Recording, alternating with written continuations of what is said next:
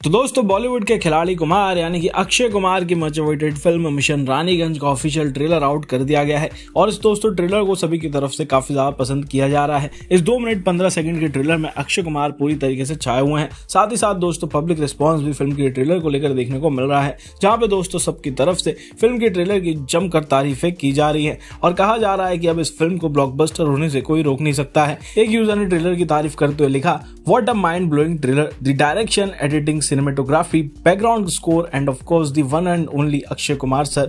Shine in this trailer. This is going to be one heck of a film. Kudos to the whole team.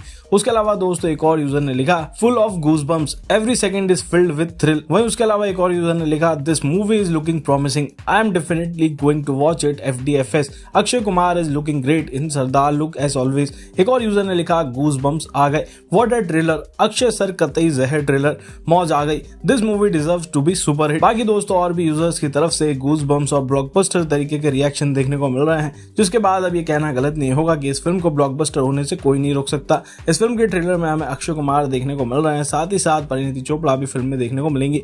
Film को छह अक्टूबर को सिनेमाघरों में release किया जाना है। फ़िल्म की रिलीज़ में अब मैं दस दिन का समय बाकी है। ऐसे में अब जल्द ही फ़िल्म की एडवांस बुकिंग भी शुरू की जानी है। और उम्मीद की जा रही है कि ओमार गॉड टू से भी ज़्यादा कलेक्शन ये फ़िल्म इंडियन बॉक्स ऑफ़िस पे हासिल करेगी। वैसे दोस्तों, मिशन रानीगंज का ऑफिशियल ट्रेलर आपको कैसा लगा? साथ ही, आप भी फ़िल्म को लेकर एक्साइटेड है यानी हमें कॉमेंट करके ज़रूर बताएँ। और फ़िल्म मिशन रानीगंज से जुड़ी हर छोटी बड़ी अपडेट के लिए बने रही चैनल के साथ। कर दी चैनल को सब्सक्राइब साथ ही में दिख रहा है बेलाइकन को भी दबा दीजिए।